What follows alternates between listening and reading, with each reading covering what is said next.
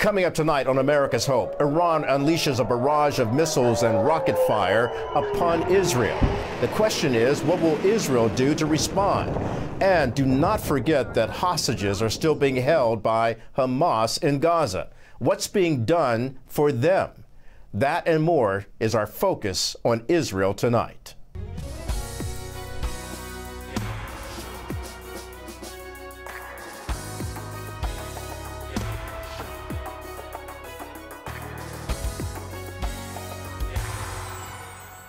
Good evening from New York. I'm Kelly Wright, and this is America's Hope. We're glad that you could join us this hour.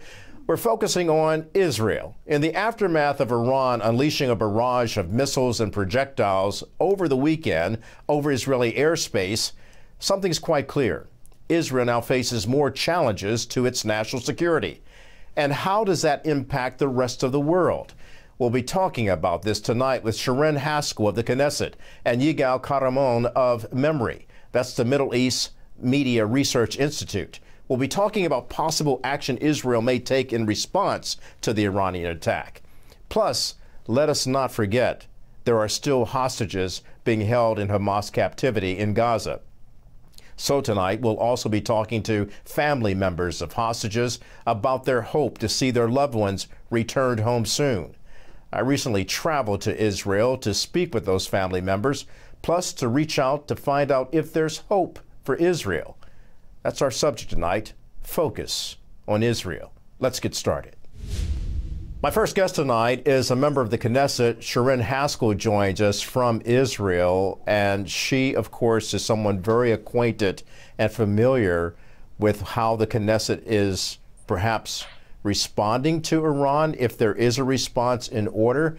Uh, Sharren, thank you for joining us this hour. Will Israel respond to Iran's uh, attack? Oh, we reserve the right for the response. Um, look, Iran has declared war. This is a sovereign country who's actually attacking another sovereign country. And just to remind you, Kelly, um, this is after years and years of them threatening Israel uh, uh, in in so many spe- speeches.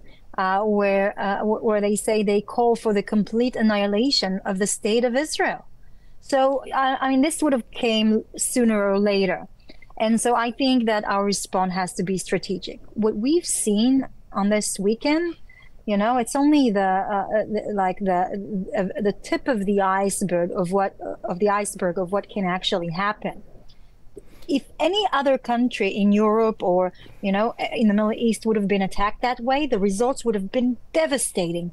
And so we have to make sure that Iran doesn't have these capability and just try to imagine if they would have nuclear capability. Would they hold back? Probably not. And so that has to be on focus, our mission to make sure that this, uh, uh, you know, th- this, uh, this crazy regime who's the biggest instigator of terror, the biggest um, distable, uh, uh, you know, in, uh, distabler in the Middle East is, you know, is, is not threatening our day-to-day life and our stability here in the region even going back to October 7th, uh, 2023, with the attack by Hamas, which, uh, of course, was was pushed forward and, and the idea hatched by the Iranians. So with this happening now, it's it's it's really clear that Iran's no longer operating through its proxies, but as you've stated, making a direct attack on Israel, attacking, we should point out, the little Satan and holding in reserve to attack the big Satan, which would be America. Absolutely. And that's why it's a common interest. I mean, what we've seen, the operation uh, to intercept, and we intercepted 99% of those missiles and drones and UAVs.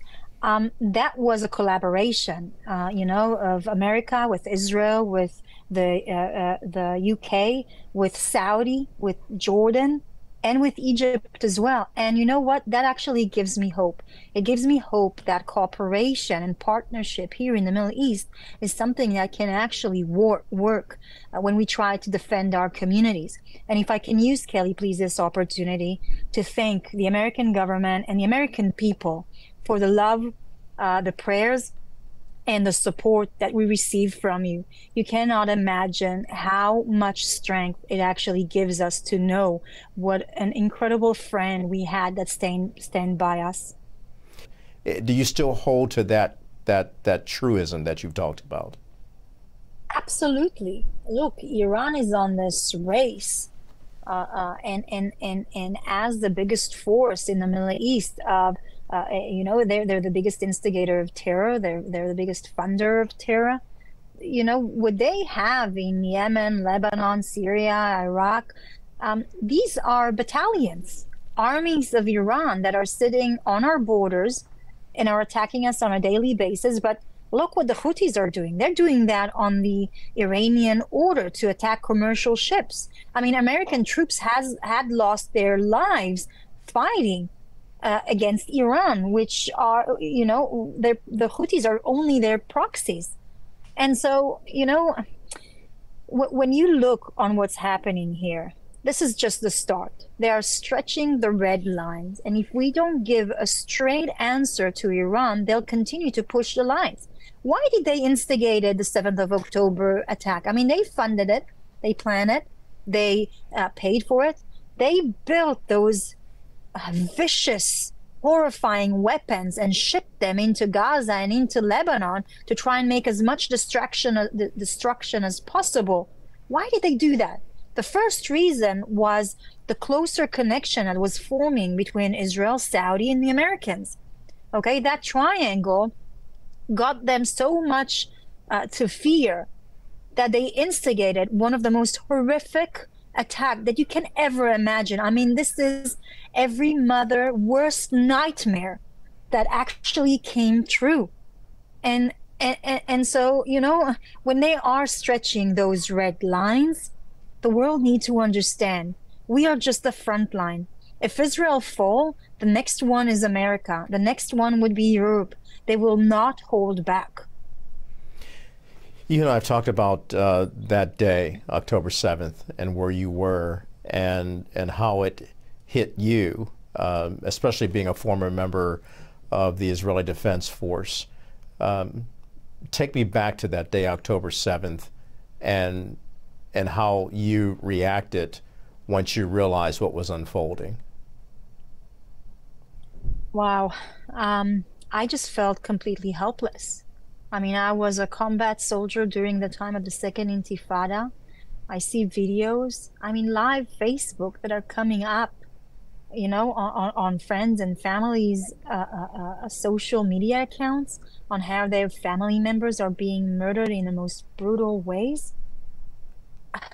I mean, you cannot imagine the, the, that that that kind of helpless sense, and to me, it really feels like you know, we failed our grandparents. Our grandparents have been through the most horrific persecution that you can ever imagine, and they survived it. They survived it so that, you know, their grandkids will have a shelter, will have a safe place without anti Semitism, a place where we can defend ourselves by ourselves, that we're not at the mercy of any kind of ruler or, or government and we're capable of defending our own children for the first time in centuries. And and for me, it really feels like a big failure. I mean, many of them are not alive anymore, and in a, in a sense, I'm I'm grateful for that because I have no. It would have completely completely destroyed them to actually see a, a, a genocide. You know, such a massacre in the most horrific ways. Babies being burnt, little girls being raped in front of their parents. I mean, I cannot explain to you that feeling, and that I, I will carry for the rest of my life. Hi, everybody. I hope you're enjoying this episode so far of America's Hope. If you'd like to see it in its entirety, just click on the link below. Thanks for watching.